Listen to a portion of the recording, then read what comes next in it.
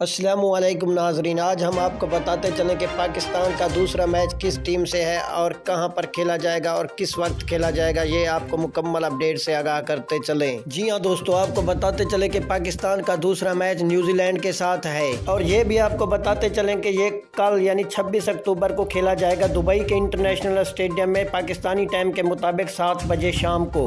एक और अहम बात से आपको आगाह करते चलें कि न्यूजीलैंड एक माह पहले पाकिस्तान से सीरीज़ खेलने के लिए पाकिस्तान पाकिस्तान आया था और इनकी टीम पाँच दिन पाकिस्तान में रही। पाँच दिन के बाद फिर सिक्योरिटी का मसला बनाकर वो वापस चले गए अपने मुल्क। अब शहीनों ने उस वक्त का भी हिसाब इनके साथ चुकता करना है कि कैसे सिक्योरिटी के मसले होते हैं क्रिकेट खिलाड़ियों के बीच में। जी हाँ दोस्तों, मैं आपको मुकम्मल अपडेट से आगाह करता चलूँ। उससे पहले आपसे गुजारिश है, अगर आपने अभी तक हमारी वीडियो को लाइक नहीं किया और चैनल को सब्सक्राइब नहीं किया तो कर दें और साथ में दिए गए बेलाइकन के बटन को भी प्रेस कर दें, ताकि हमारी इस तरह की नई वीडियो आप तक बसानी पहुँचती रहे और आप रहें हर वक्त बाखबर। एक और अहम बात से भी आपको आगाह करते चलें, ये गोरे लोग बाहर से तो गोरे हैं, लेकिन अंदर से इनके दिल काले सियाह हैं।